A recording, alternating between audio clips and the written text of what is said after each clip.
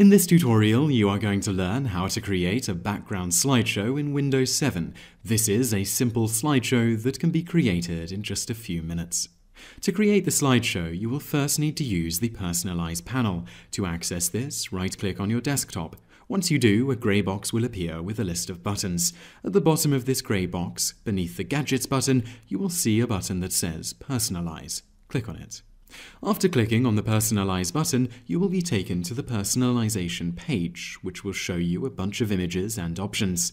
Look on the bottom left-hand side of this page, and you will see a blue button which says Desktop Background. Click on this.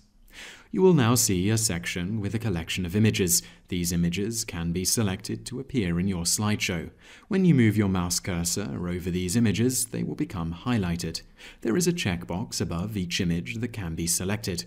When this checkbox is selected, the image will appear in the slideshow. When it is deselected, the image will no longer appear.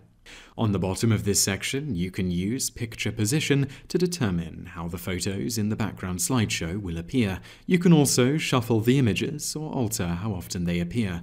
After making your selections, click Save Changes on the lower right-hand side and close the box.